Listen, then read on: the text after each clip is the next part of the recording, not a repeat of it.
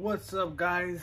Uh, well, I just got this Teju Lizard um, sanded black color. It's supposed to look like this. You see that, how it's sanded?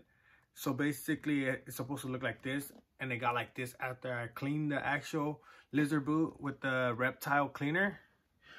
So I was wondering how come it got dark and it stayed dark like this? It was like this for about a week. And this is how it's supposed to look. So it's called sanded black. So what I thought about was, what if I sanded, right? so I started sanding this boot down and check out how it changes the, the actual color. It goes back to the original color. That crazy? So I sand it down. This one, this grit right here is, I believe, 800 grit. Nothing crazy. But check it out. Let me sand it down. It's gonna go to the original color. You can really tell on the back that has started. Check this out. I was going softly over it. But after you clean them, make sure you kind of sand it down. Because they're also gonna stay that dark color. See how they, it's coming back to the original color? Isn't that crazy?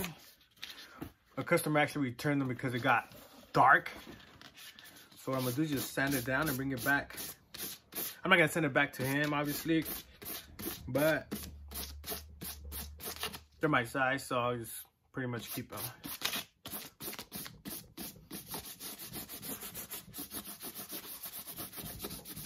Check it out. See that?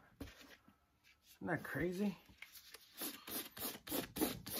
So if you have a sanded color, make sure after you clean them to sand them down just a little bit to bring them back to that original color because they are going to get dark.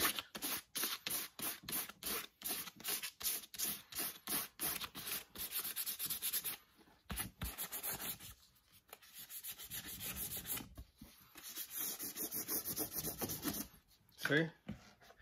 Now it looks sanded black again. That crazy? Cool.